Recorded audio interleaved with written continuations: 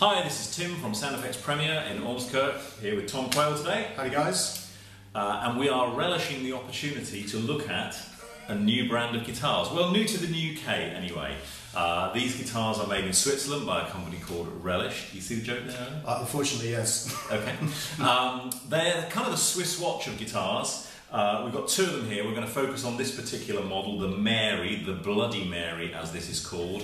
Um, I've got a Jane in my hand. I'm going to put that one down. We've got a separate video on that. Um, but these guitars are very, very innovative. Apart from uh, a, kind of a little bit of a detachment on shape from the norm. Um, they've got some interesting features to them. Uh, those features are there for a particular reason, and, and, and, that is mainly around sustain and tone. They really strive to get a guitar that is constructed in a different way, aimed at, at getting very, very good sustain on it.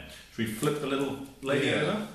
So if we put it on its back, and you can see, it's the same, it looks the same on the back, but as you can see, a sandwich construction. Three layers. And can take this layer off. Not for the purposes of playing it with the layer off, but for the purposes of accessing the inside. Now it's worth turning it around like that, and you can see not only these, which I'll explain or will explain in a second, but you know, access to all the electronics and things that you would need as well, which is kind of useful.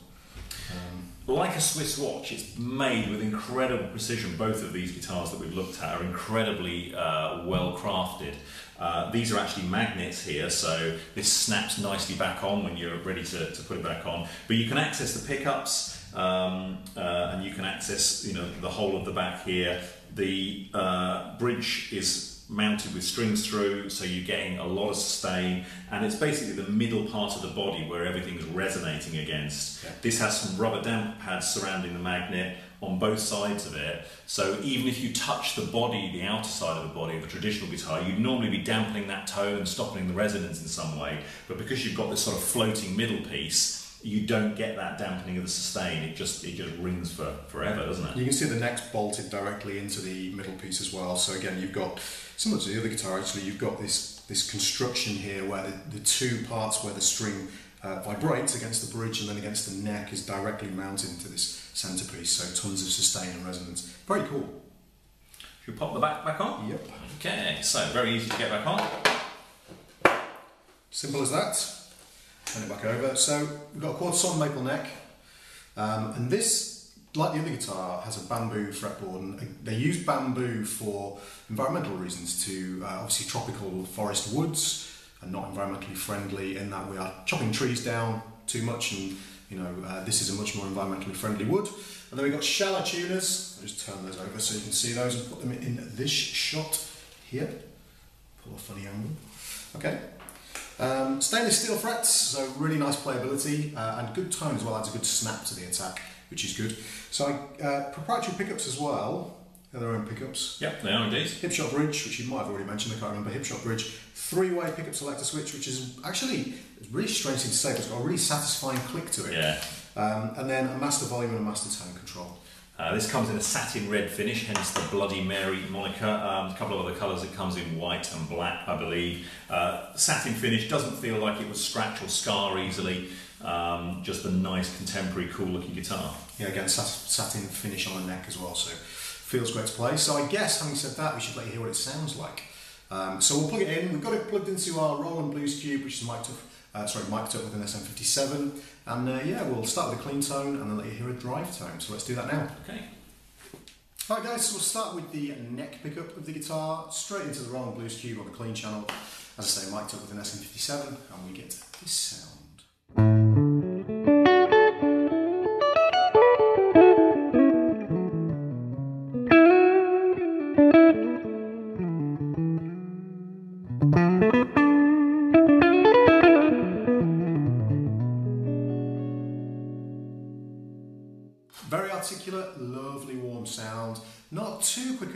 This guitar kind of sounds almost hollow body, and you've obviously got that from the internal structure of that middle section, which has got obviously the hollow sections in. So, and again, tons of sustain. Check out the sustain again.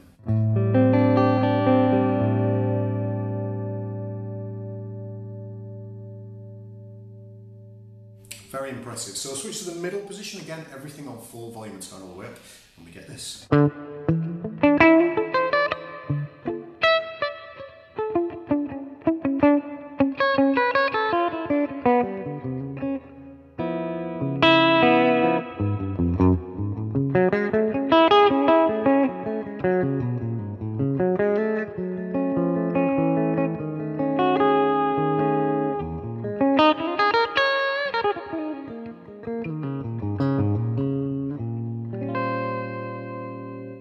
Very dynamic, again, nice woody tone, very impressive, uh, considering that the construction is very unique. Um, the tone is very guitaristic, but has that unique element as well. So down onto the bridge position, again, everything on full, we get this.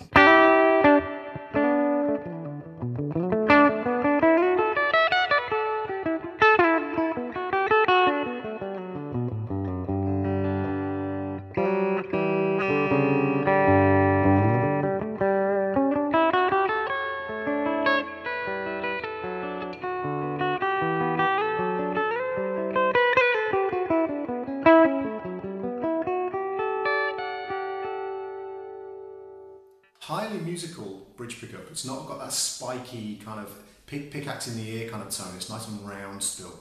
So let's now switch over to overdrive and have a listen to how that sounds. Okay, so let's check out the overdrive starting with the bridge pickup, everything on full.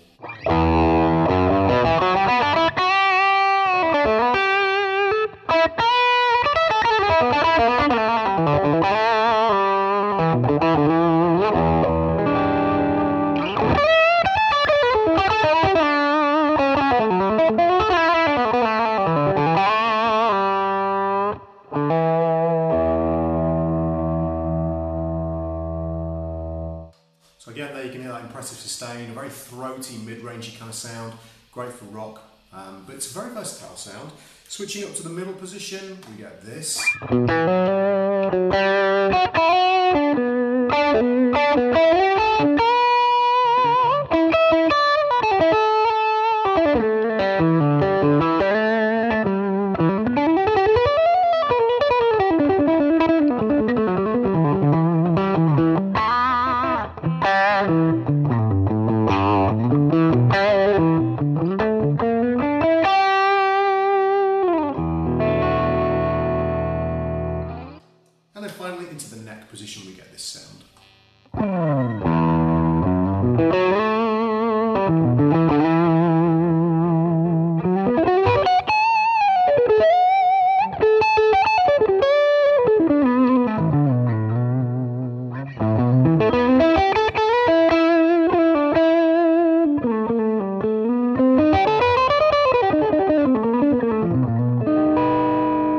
So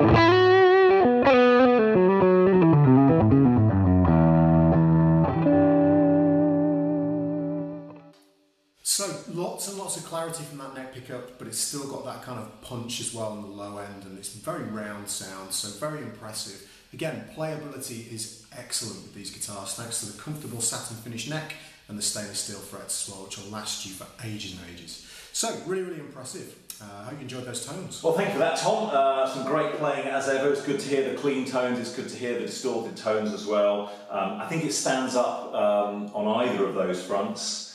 Uh, I'm really excited having these guitars in. As I said in the intro, there, there isn't anywhere else in the UK where you can get them currently, um, although they have been quite popular in Japan and America. Music Zoo are a, um, one of the leading shops in America have really been championing them. They've got a number of great artists on board now. Uh, so that's Relish Guitars for you. There's uh, Bloody Mary there, the Swiss Watch of guitars, um, and we're really looking forward to getting a whole batch of them in. Thank you, Tom. No worries. See you later, guys. Bye.